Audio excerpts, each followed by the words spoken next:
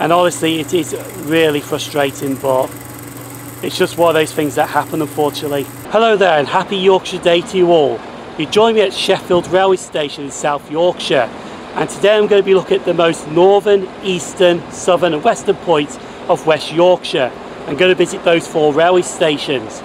And honestly, this idea has actually come from another YouTuber who I watch named Sarah with the Trains.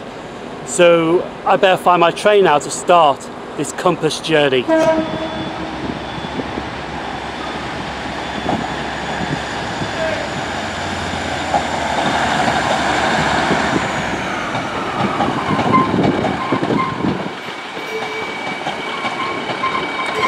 Okay, I'm on platform one now and this is very worrying indeed because I'm waiting for the 10.35 Northern service to Huddersfield because I go to Denby Dale which is West Yorkshire's most southernest point and honestly the train is running about 7 minutes late and literally only had 10 minutes at Denby Dale to catch the train that I want to catch to go to Barnsley and it's just pulling out the side now so it is arriving into the station but I'm hoping and I wish they don't hold us at Penistone for the train I want to catch at Denby Dale to pass.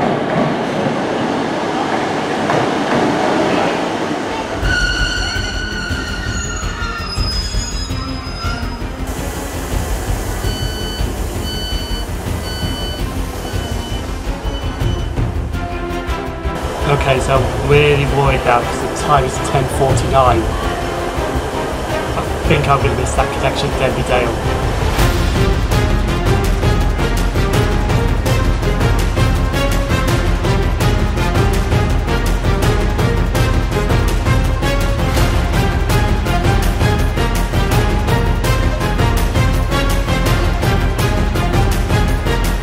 So we have made it to Penistone. Unfortunately though, they are holding us here for the train I want to catch at Denby Dale.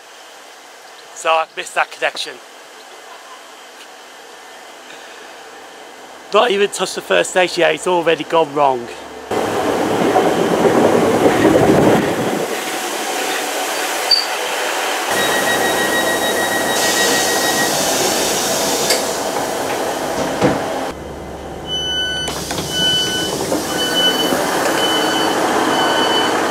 So we have now reached the southernest station in West Yorkshire.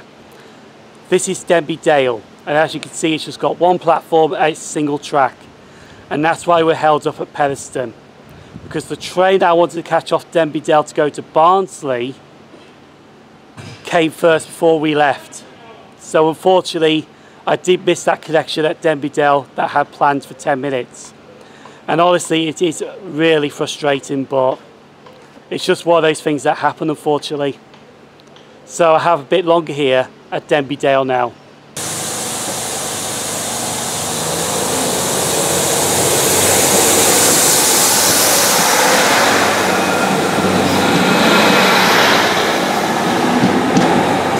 So I've got some time to kill and while I've got this time to kill I'll just explain about this railway station's history. It opened on the 1st of July 1850 by the Huddersfield and Sheffield Junction Railway. And in 1965 the line became single track. And honestly the next train I catch off here to Barnsley is at 12.35 but it's the same unit that I got off at Denby Dale and it's running about four minutes late already so the connection at Barnsley was eight minutes. Now it's going to be four minutes to catch my train to Wakefield Kirkgate. And honestly hopefully I can make this connection at Barnsley but we'll see how this plays out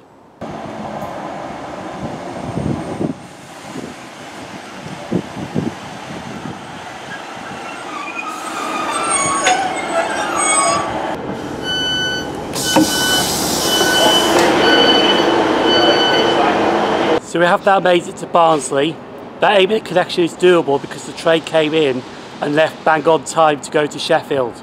So I'm waiting for the 1308 Northern service now to take us to Wakefield Kirkgate.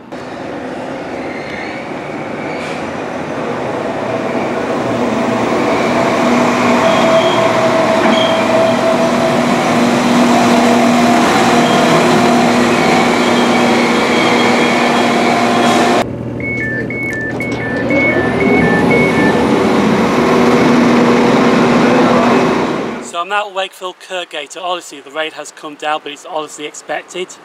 But I'm only here to change trains for the 1346 Northern service, and this will take us to Knottingley, because Knottingley is the most eastern station in West Yorkshire.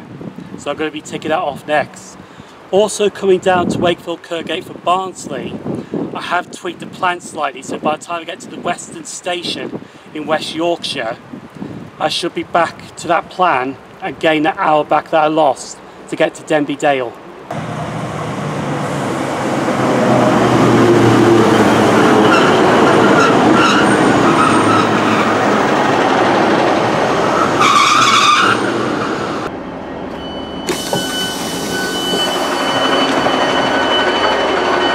So we're now at Knottingley, West Yorkshire's most easterly point. And honestly, if I came here an hour before, that train was cancelled. So what happened at Denby Dale was really a blessing in disguise. This station was opened in April 1848 by the Wakefield, Pontefract and Goole Railway.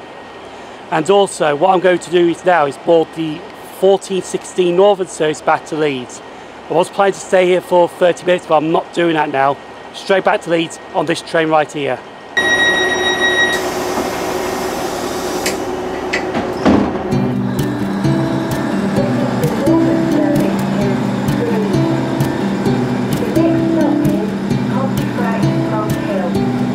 Honestly, I would have stayed there for 30 minutes if I had the time, but to be honest, I actually want to make the time back up. So we have gained 30 minutes on the schedule now that I had planned but we are heading to Leeds, so I go to the most northern station in West Yorkshire.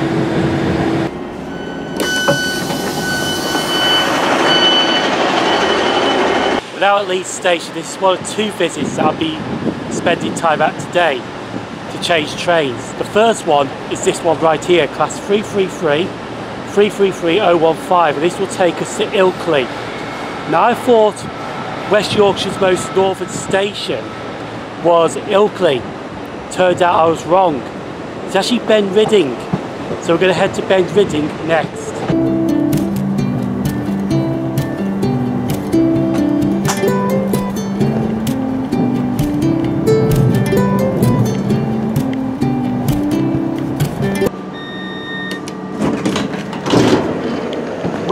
To the Ilkley train. So we have now made it to Ben Rhydding, which is West Yorkshire's most northerly station.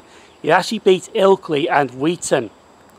And honestly, the views around here are just absolutely stunning. I remember coming here once when I did the Not Fully Ilkley Fated video. I didn't get back home till after one o'clock in the morning. But you have to watch that one to find out why. However though, this station opened on the 1st of July 1866 by the Otley and Ilkley Joint Railway. It was a venture between two railway companies, the North Eastern Railway and the Midlands Railway.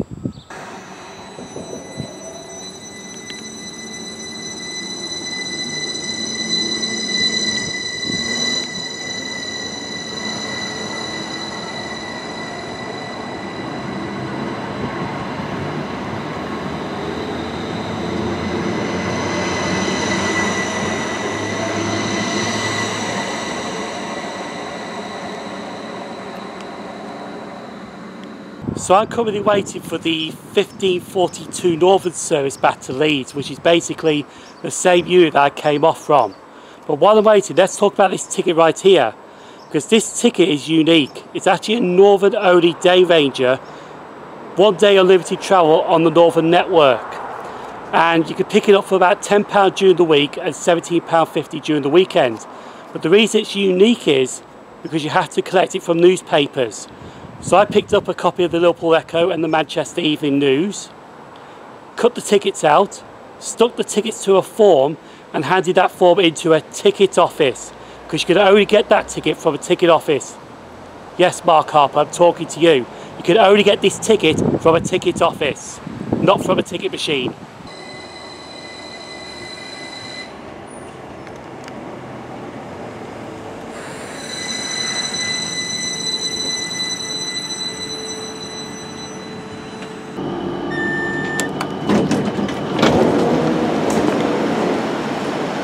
So we're now back in Leeds and we are heading to West Yorkshire's most westerly station on that class 158 behind me.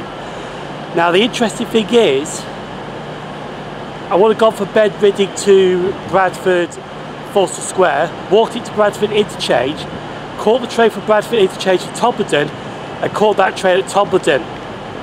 This is the 1617 off Leeds and this would take me to Walsden, which is West Yorkshire's most westerly station. So I'm going to jump on now because the weather is a bit moist at the moment with all this rain and head to Walsden.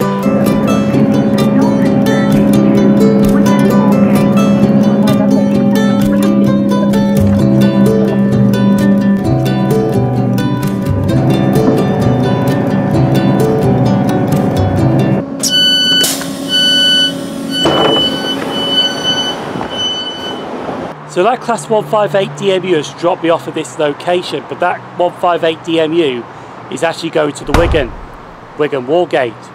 Station right behind me is Walsden, which is one stop away from Todmorden on the Calder Vale line.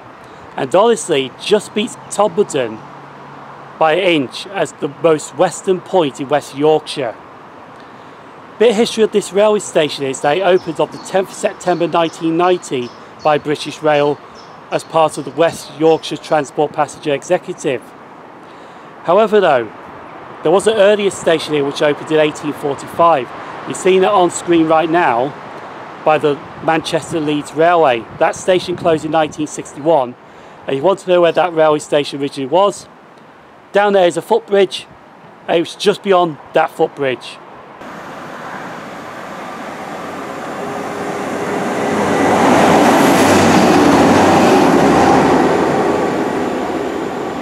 Honestly today has really been a very rocky start as you've seen. But in the end it's actually turned out alright to be honest. Sometimes you guys take a step back rethink replan and everything's alright in the end. And that's what happened with today's video. And honestly visiting the most northern eastern southern and westerly points in west yorkshire has really been fun but a bit stressful with the connections. Some of the connections I made have been roughly about 10 minutes. And honestly it has really been good. But if you want to see any more rail compass journeys, feel free to drop them in the comments down below. Video's popping up right here if you want to watch another video, give that a click. People on screen now YouTube channel members and Patreon supporters, thank you for supporting the channel. I've been Simon Trains, thank you very much for watching. I'll see you on board for the Cyber Express for another journey down the line. Stay safe.